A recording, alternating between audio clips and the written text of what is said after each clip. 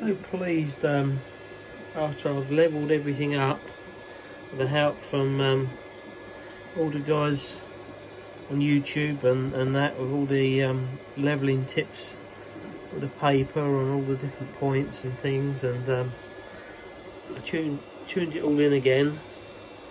Um, so far it just looks looks amazing. I had problems with the, um, the leveling leveling it up you know I'm gonna change these maybe upgrade these here.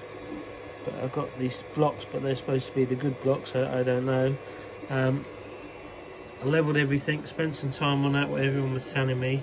And then I really wanted this but I, I didn't know if I was going to be able to do this, this thing hand. Um, so so pleased. Um,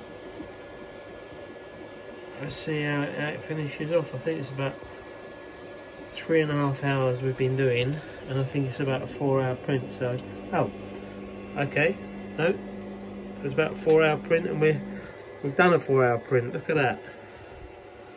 Amazing. So so pleased. And comes with a bit of cobwebs. Clever. So being new to the 3d printing it just gets more and more exciting all the time. So it's amazing what can be be done from nothing to to this amazing print.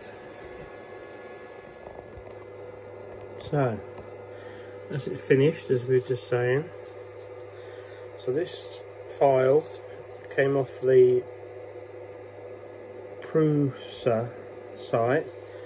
Download it I've seen somebody else had done the same.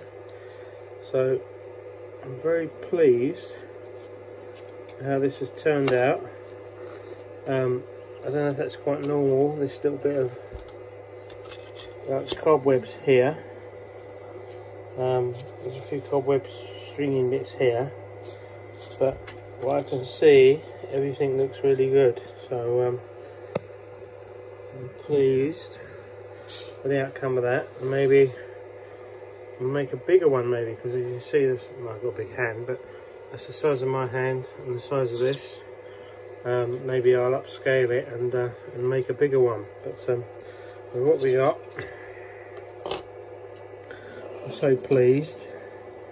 Um, the outcome of with, you know, the printing. It's printed on the raft so I have to get it off of there later on but, but we've got this little bit of cobwebs here, a bit of as it was printing, but I'm suspecting it's more than um, acceptable. Uh, obviously I've got to take all the supports and things off of it, but um, that's literally just finished printing.